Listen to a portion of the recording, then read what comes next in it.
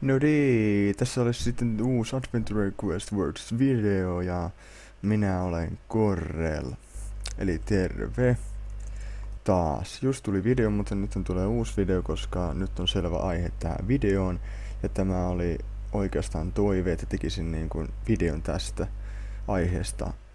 Eli tämänkertainen aihe on siis Archfiend Class, jonka juuri sain rank 10 Ostin sen 2000 Adventure Coinsilla, koska 30 Unidentified 13 kerääminen on kauhean suuri työ ja siinä ei ole minun mielestäni järkeä. Toki olisin sen tehnyt, mutta minulla nyt ei vaan ole aikaa siihen, joten ostin klassin suoraan AC-lla.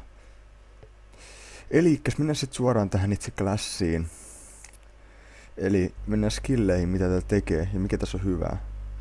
Ensinnäkin tällä on, klassilla on Fiend Leech, eli tää niinku saa healttia automaattisesti silloin kun sä käytät jotain näistä iskuista.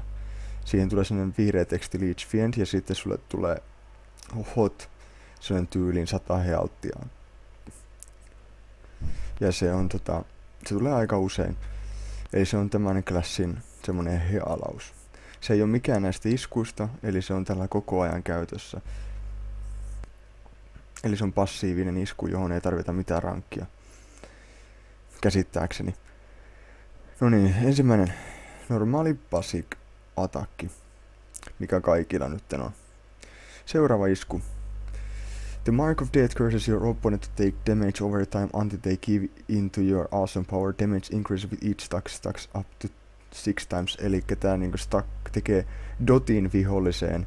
Ja aina kun sä stakkaat niin se dot muuttuu pahemmaksi, eli damage over time, eli se oh, oranssi teksti, mikä tulee vihollisen yläpuolelle. Sitten, sitten kun sulla on niitä kuusi, niin se damage on isompi. Se suurenee aina se damage sitä enemmän sä oot takannut siihen viholliseen näitä. Eli kuusi on maksimi. No mitäs sitten seuraava? Lash out all opponents nearby striking them with the force of the apple deals moderate damage to all targets within melee range.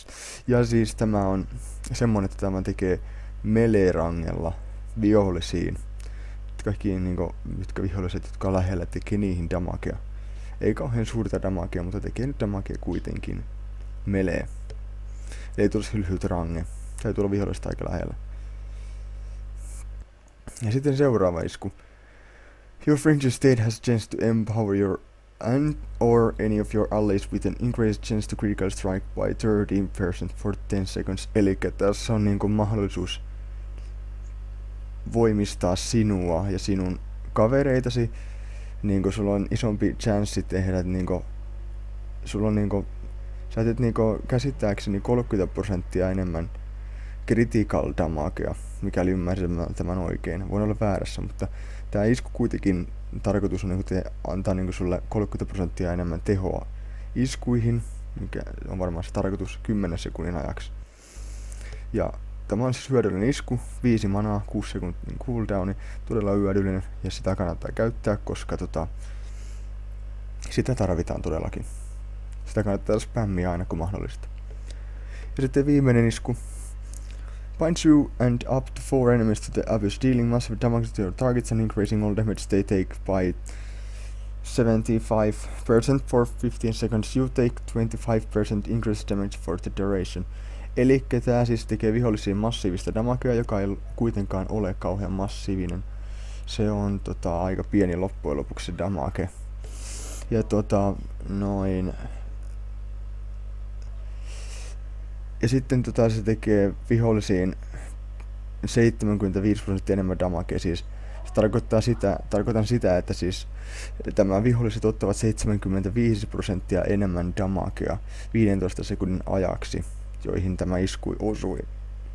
Taas kun sinä otat 25 prosenttia enemmän damagea tuon 15 sekunnin ajaksi. Ja sehän on tietysti hieno homma. Mutta siis, joo. Ja sitten nämä passiiviset iskut, eli tässä on niin 20 prosentin lisää niin makea critical iskuihin, ja tässä taas on sitten kahden increased critical chance, siis critical chance 12 prosenttia kasvaa.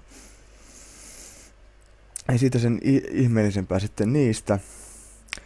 Ja rank 10 passiivinen oli sellainen, muistaakseni, että se tekee 20, siis sulla on 20, 25 prosentin mahdollisuus tehdä viholliseen isoa damagea käsittääkseni silloin, kun vihollinen on kuolemaisillaan. Eli se voisin sanoa, että aika turha sinänsä se isku. Mutta ei sillä nyt mitään sitten voi, mutta on se paljon parempi kuin tuossa Soul Cleaverissä se viimeinen 110, joka tappaa itsensä. Eli toistan tässä nyt vielä sen, että rank 10 passiivi tällä on se, että siellä on 25 prosentin mahdollisuus tehdä vihollisen paljon damagea silloin, kun vihollinen on kuolemaisillaan. Muistakaa, että voin olla väärässä tämän suhteen, koska minä en ole koskaan nähnyt sitä viimeistä skilliä toiminnassa, tai sitä passiivista rank 10 skilliä, niin todennäköisesti voin olla väärässäkin, mutta näin minä sen ymmärsin siis. Nyt minä sitten yritän, huom, yritän suolata tämän Red Dragonin tällä. Joten aloitetaanpa sitten heti. Ensimmäinen isku, käytän iskujärjestystä tätä. Eli kakkonen, nelonen, kolmonen, mahdollisesti sitten vitosta, mutta aloitetaan nyt heti.